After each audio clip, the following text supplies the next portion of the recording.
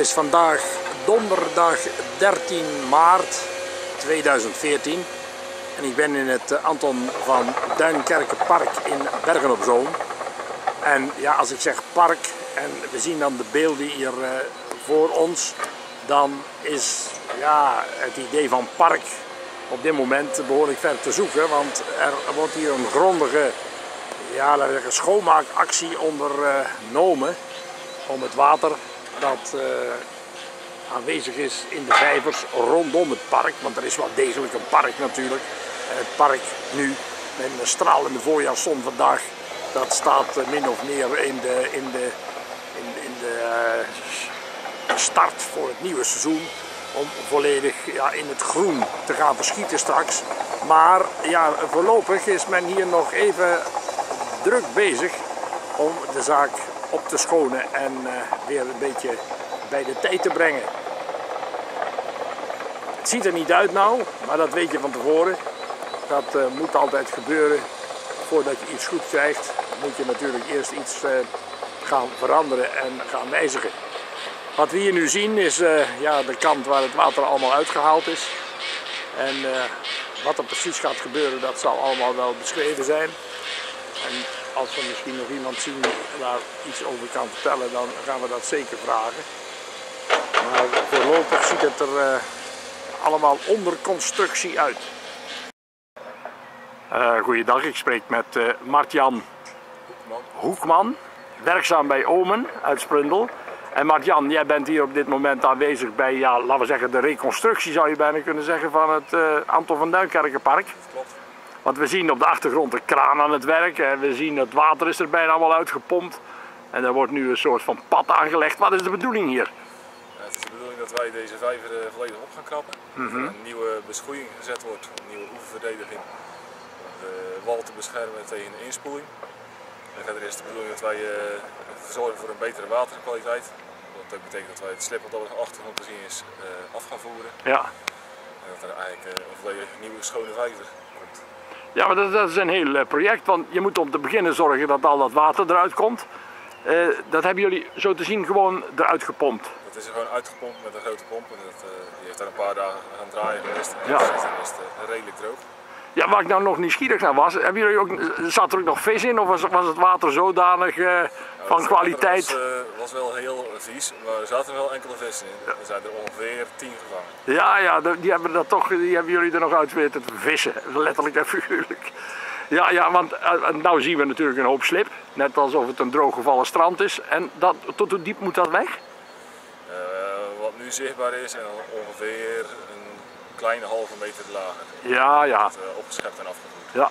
En komt er dan nog wat voor terug of, of hoe, gaat dat dan? Het is nog niet helemaal zeker, maar er is een kans dat er nog wat zand voor terugkomt. Ja, ja. niet al te diep te maken. Nee, want het wordt, er komt geen vaste bodem in of zo. Het blijft een, een zachte wel bodem. bedoel ik dat het een vaste bodem wordt. Ja, ja. Dus, uh, het slip weggeschept wordt tot op het zand, mm -hmm. wat dan eigenlijk een vaste bodem zou moeten zijn. Ja, ja precies. Want uh, wanneer zijn jullie begonnen aan dit werk? We leven vandaag 13 maart. Ja, ongeveer vier weken terug. Toen, ja. En uh, begonnen met leegpompen misschien? Ja, klopt. We begonnen met leegpompen en toen is eigenlijk ontdekt dat het dat er heel veel slip onder in de, in de vijver zat. Mm -hmm. Dus toen is het even uh, stilgelegd om daar een beslissing over te kunnen nemen. Ja. Om het af te voeren of eventueel toch te laten zitten. Ja. Dus uiteindelijk besloten om het af te voeren. Ja. En daar zijn we nu voorzieningen voor aan het treffen. Om het, uh, oh ja, want daar moeten allemaal met vrachtwagens hier vandaan. En vandaar ook die, dat die, dat pad hier nu aangelegd wordt, zeker, zodat de kraan overal goed bij kan. Klopt. Ah ja, en dan komen de wagens ook op te staan. En... Ja, in één keer alles opladen, ja. het schip opladen en gelijk afvoeren. En gaat dat nog ergens speciaal naartoe? Uh, een gedeelte van het slip is uh, sowieso zo vervuild dat het naar Rotterdam gaat, oh, ja. naar Heenvliet. Ja. En een ander deel zijn nog wat extra monsters van genomen. Dat zou misschien hier in Moestraat terechtkomen. Ja, precies. Anders zal het ook naar Rotterdam moeten. Ja, oh, dat is nog heel, dat is nog heel denk ik, hier je helemaal rond bent geweest. Ja, klopt.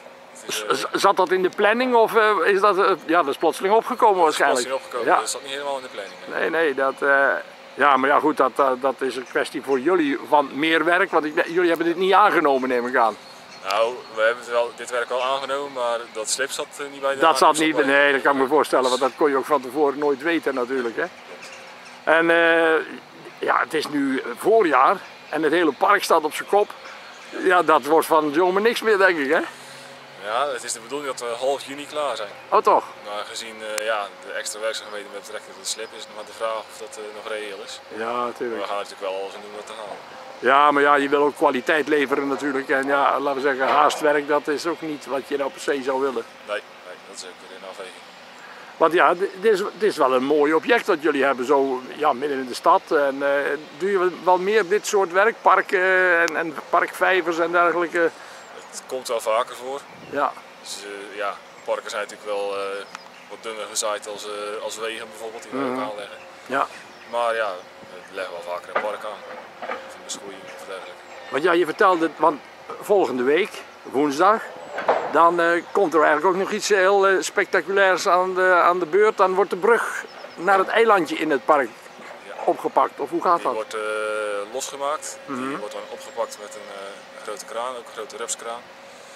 Die wordt dan op een, op een vrachtwagen gezet en dan in zijn geheel afgevoerd om opnieuw geschuurd, gestraald en gepoedercoat te worden. Ah ja, dus dan is die weer praktisch als, als hij terugkomt als nieuw.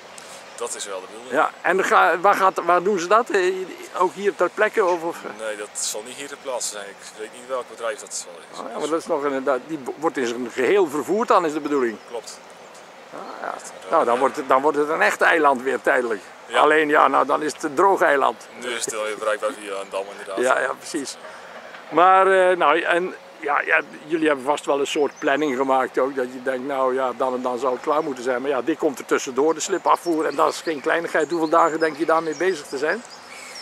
Het slip uh, werkelijk afvoeren zal denk ik een dag, ja, twee weken ongeveer. Ja, ja. Maar ja, alle voorbereidingen is, sowieso ook al twee weken. Ja, natuurlijk. Het leggen van een dam, het leggen van rijplaten waar de mm -hmm. vrachtwagens op kunnen staan. Ja.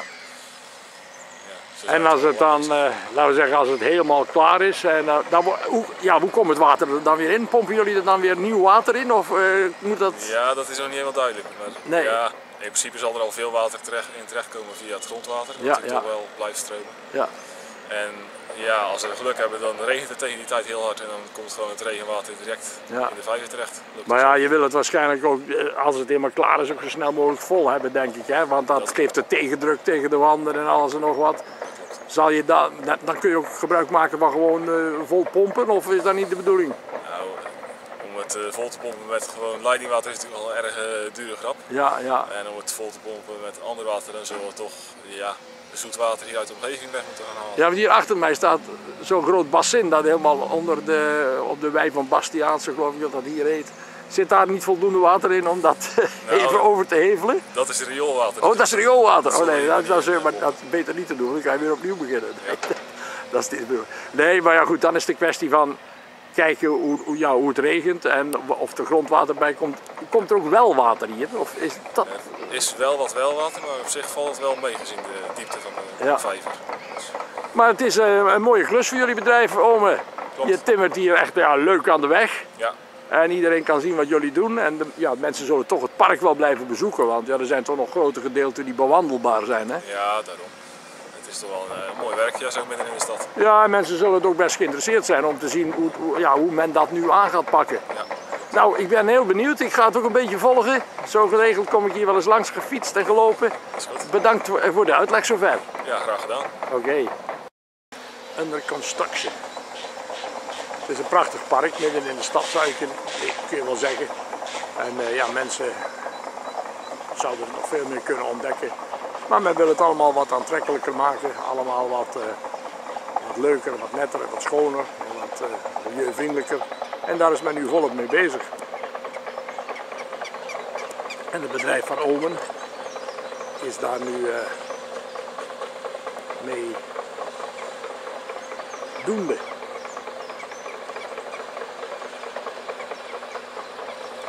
De eenden en de ganzen, die weten niet wat ze overkomt.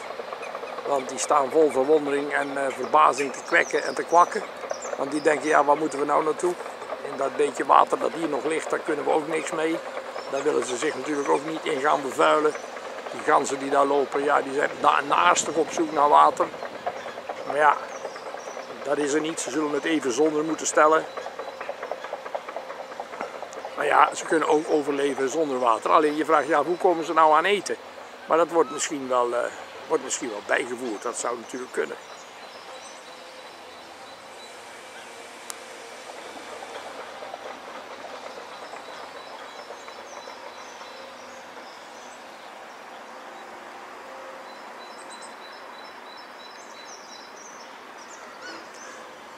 Ja, we lazen vanmorgen nog een stukje in de krant van een uh, heerschap dat hier in de buurt woont.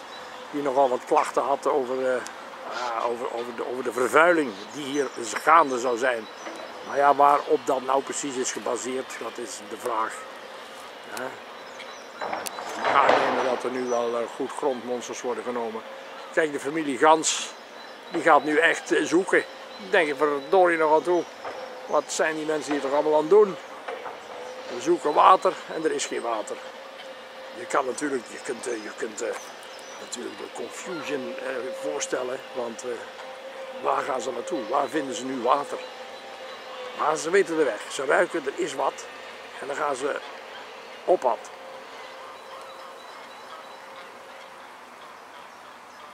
Kijk, kijk, kijk, kijk. De grootste waaghals heeft het gevonden. En die, ze gaan toch eens kijken of hier nog wat eh, te, te, te, halen valt. Ja, veel is het niet. Ze zijn natuurlijk kennelijk behoorlijk teleurgesteld. Nou, dan gaan ze maar wat verder.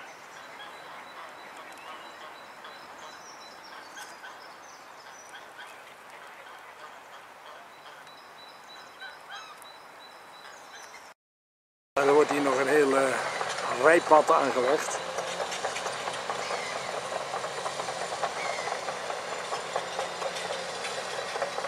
het water is eruit gepompt. Kijk, hier liggen de buizen nog. Van, en daar staat er een grote pomp die het water uh, natuurlijk heeft afgevoerd. Het water wat hier in uh, de vijvers rondom ja, de beparking aanwezig was. De vraag is natuurlijk of er ook nog vissen zijn gevonden. Dat is natuurlijk wel interessant, of hier ook nog vissen in zaten. Dat zouden ze moeten vragen. Kijk, daar hebben we nog weer een aantal eenden. Die hebben toch nog uh, dat beetje water gevonden wat er nog is. En die zwemmen vrolijk verder alsof er helemaal niks aan de hand is hier in dit park.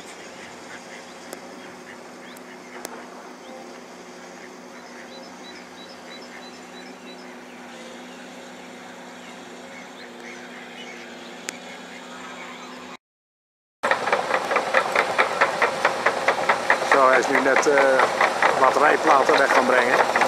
En hij zal waarschijnlijk nog meer rijplaten gaan halen, want dit wordt natuurlijk de werkweg straks, zoals we al hoorden. De werkweg om het slip af te gaan voeren straks.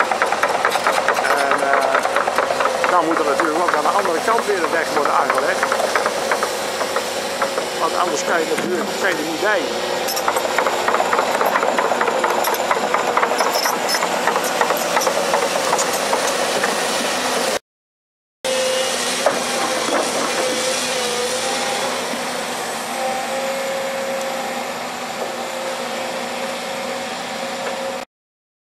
Nou, een nieuwe vracht met uh, rijplaten om het pad verder uit te breiden. Ja, er komen natuurlijk uh, vrachtwagens op ja, die uh, tonnen met zand moeten gaan vervoeren. En die moeten natuurlijk wel vlot aan en af kunnen rijden.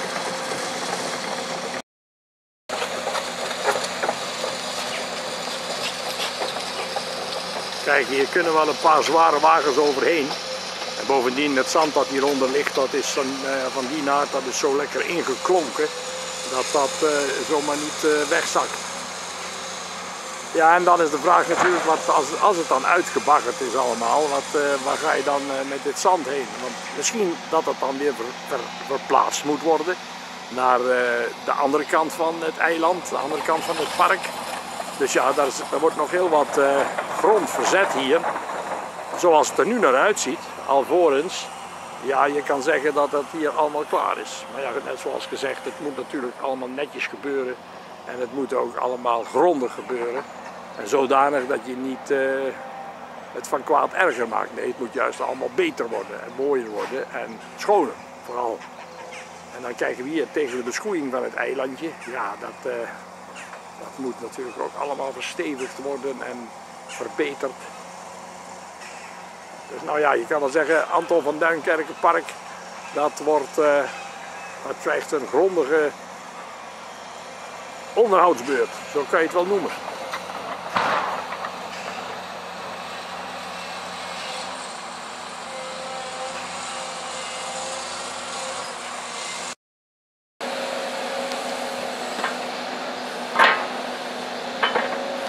Zo. Even zijn, zijn vingers pakken.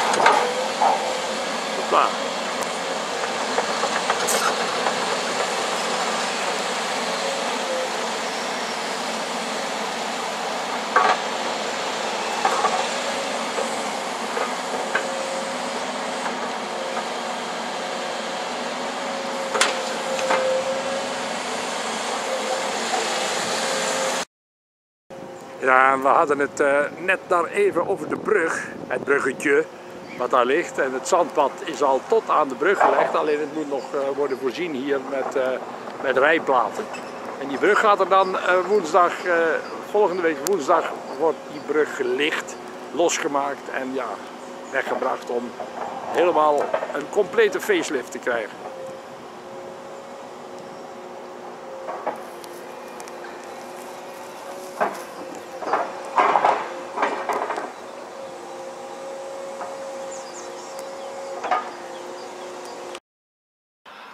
Ja, en dit is dan eh, het bruggetje. Wat even weg, gaat, moet, weg moet en eh onder handen gaat worden genomen. Ja, er ligt dus een dikke laag slip in. Ja, van jaren en jaren en jaren natuurlijk. Want ja, hoe lang zal het geleden zijn dat dit voor de laatste keer helemaal is uitgebaggerd? Dat zal natuurlijk best heel lang zijn geleden. En vooralsnog wordt het niet helemaal droog, want er komt natuurlijk ook nog misschien wel wat water naar binnen. Ook als het nog flink zou gaan regenen, maar we treffen het nu op dit moment, want het is behoorlijk droog weer. En er valt weinig regen, maar we moeten alleen zorgen natuurlijk dat het regenwater uit de omgeving niet meer in de parkvijver komt, die nu nagenoeg bijna droog staat.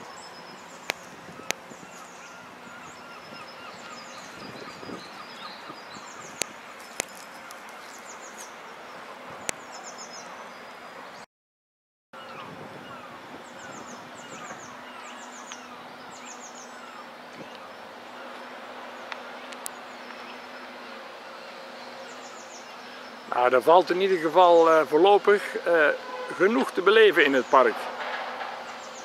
Ah, volop activiteit, volop werk. Nou ja, en de vogels, dat is bekend, die zullen er zich niet aan storen, want die zijn snel genoeg gewend aan, aan, aan dergelijk eh, kabaal en lawaai. Trouwens, rondom het park is zoveel verkeer dat de vogels hier en de eenden en al het andere spul wel helemaal gewend is aan de vertrouwde geluiden zou je bijna kunnen noemen. Het zou zelfs zo kunnen zijn als er helemaal geen geluid meer zou zijn, dat de vogels hier zouden vertrekken en het, omdat ze het zo gaan missen. Nou ja, daar zal niet iedereen het mee eens zijn.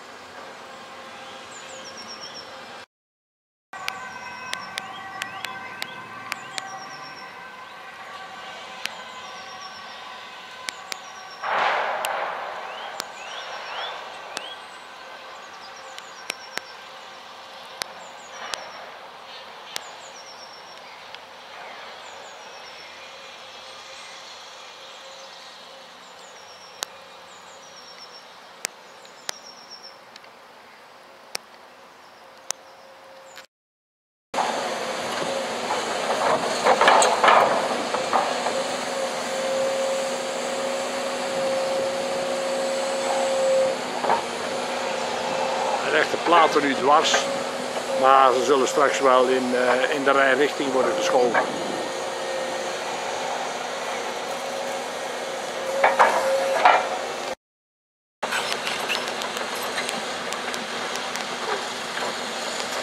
Ja, op de achtergrond hebben we het Ravelijn. We hebben natuurlijk dit uh, jaar ook al een grondige, een, een, grondige werk zien gebeuren waar alles is uh, weggehaald. Ja, nu het park.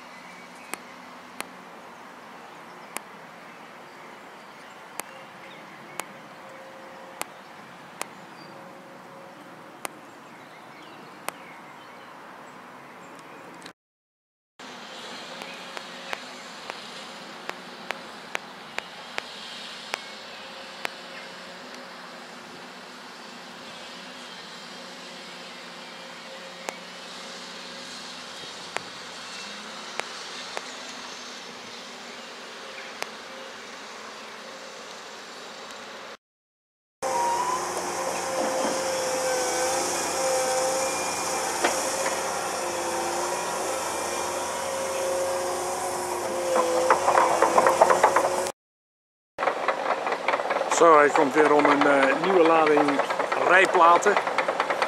En zo gaat dat nog wel even door vandaag.